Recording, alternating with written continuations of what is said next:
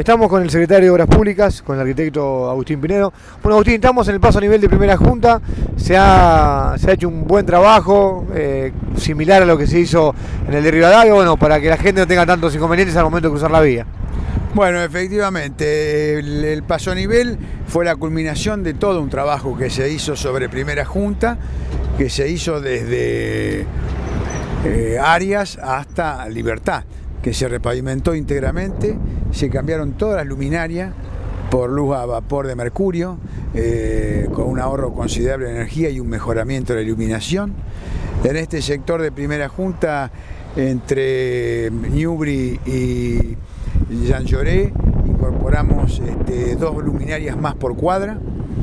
Eh, extendimos los brazos pescantes de las luminarias que estaban sobre eh, sobre la costa del ferrocarril. Eh, han mejorado extraordinariamente la iluminación.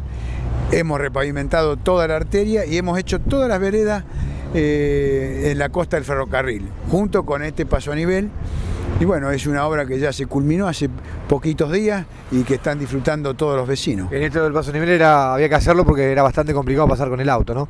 Y sí, estaba muy feo, inclusive para los peatones mismos era un cruce complejo. Bueno, y una avenida, como hablábamos de Intendente de la Sota, primera junta también con un tránsito infernal.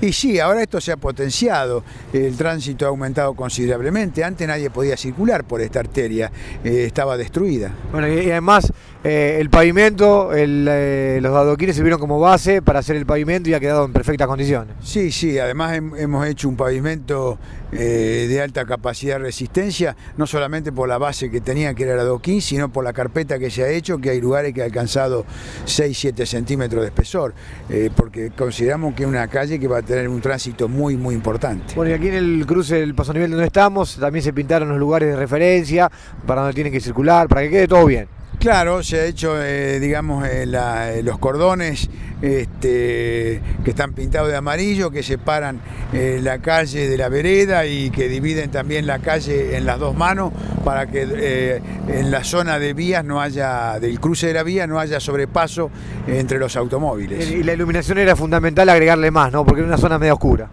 Y sí, era, era oscura, era muy pobre la iluminación, ahora ha, ha cambiado totalmente.